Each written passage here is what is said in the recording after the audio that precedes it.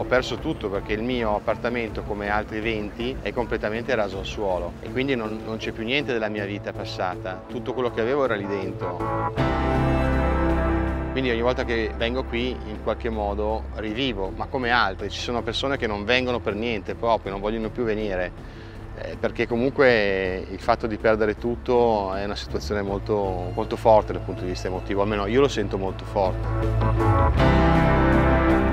Questa è la sostanza che è responsabile un po' di tutto il disastro. È polietilene, la torre era avvolta da 17 tonnellate di polietilene, è un, eh, un materiale altamente infiammabile che combinato ai pannelli non a norme ha contribuito a creare questo disastro che, che, che oggi vedete.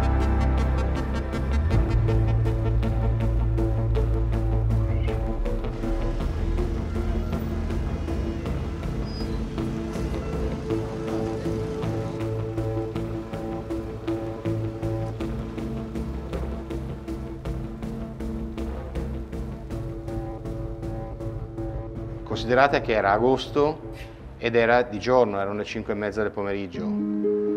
Tuttavia io non so cosa sarebbe potuto accadere di notte eh, in una situazione di questo tipo, perché chiaramente la notte è tutta un'altra cosa. C'era la chat condominiale che ha funzionato molto bene perché chi era in casa e se ne è accorto ha subito mandato un messaggio in chat, tutti hanno visto fuoco che cominciava a divampare, moltissima gente ha scampanellato i vicini, c'è chi ha chiamato anche Mahmoud che era, che era, in casa per fare in modo che, che, che uscisse. Vedete i segni che sono rimasti dei quadri?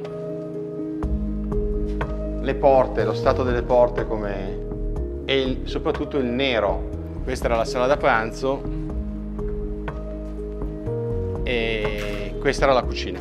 Come vedete non c'è più niente, è tutto andato completamente perduto. Possibilmente ripartirà anche il mutuo della torre e quindi avrò la doppia cosa dove avrò un affitto da tirare fuori i soldi, la torre che ripartirà il mutuo e le spese condominiali della torre che comunque ci sono e saranno, inizieranno a essere ancora più ingenti perché considerate una cosa, tenere su questo palazzo così come lo vedete ci costa a tutti noi oltre 200.000 euro. Adesso ci saranno delle altre spese aggiuntive. Abbiamo un budget definito l'altro giorno di circa 300.000 e sono le spese di sgombero che dobbiamo pagare noi, sono le spese di demolizione che dicevo l'assicurazione paga fino a un certo punto ma poi il resto lo dobbiamo tirare fuori noi.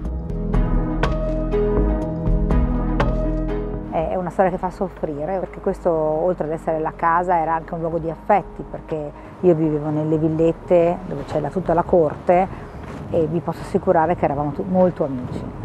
Anche nel periodo del Covid abbiamo vissuto insieme questo periodo allora, il procedimento penale con le costituzioni di parte civile garantiscono un risarcimento, che è ovviamente di un danno che proviene dal reato, quindi non stiamo parlando in senso civilistico di danni materiali. Questo eventuale risarcimento potrebbe aiutare le famiglie a ricostruirsi l'appartamento, secondo lei? No, non siamo nei termini di, di una quantificazione così importante proprio perché il giudice penale stabilisce una somma a titolo, chiamiamolo di acconto, e poi rimanda al giudice civile per la quantificazione. Potrebbero veramente volerci molti anni per ottenere l'acconto. Se poi deve rimandare al giudice civile per la quantificazione del danno, puoi ben immaginare che gli anni si moltiplicano. Non possiamo entrare in casa, ma dobbiamo tirare fuori più soldi per entrarci tra due anni. Il mutuo riparte quando? Dipende, il mio riparte eh, praticamente l'anno prossimo. Quindi prima della fine dei lavori? Sì, dipende dalla banca, anche qui, anche sulle banche, l'altro vuoto normativo è proprio questo, mentre in una situazione dove, faccio l'esempio classico dei terremotati, c'è un percorso, per noi non c'è niente, quindi le banche ti dicono no, voi avete avuto un danno, da, eh, un danno colposo, quindi sostanzialmente un disastro colposo, quindi per noi non cambia niente. Siamo dovuti andare dal prefetto per convincere le banche a farci un posticipo del mutuo. Eh. Considerate che in Inghilterra, dopo la, la tragedia di Grenfell, se fai una costruzione sopra un metro e mezzo, devi avere tutti i materiali classificati antincendio in classe 1. Da noi mica è così. Ancora oggi non è così. Ho girato pagina, ho cambiato vita, ho... lontana da qui, così non vedo neanche, e, e mi infastidisco tornare qua. ho addirittura ancora le cose in cantina, in box.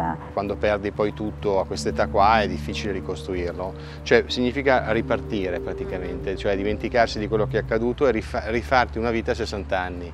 Non sarà semplice, però è una sfida che voglio cogliere.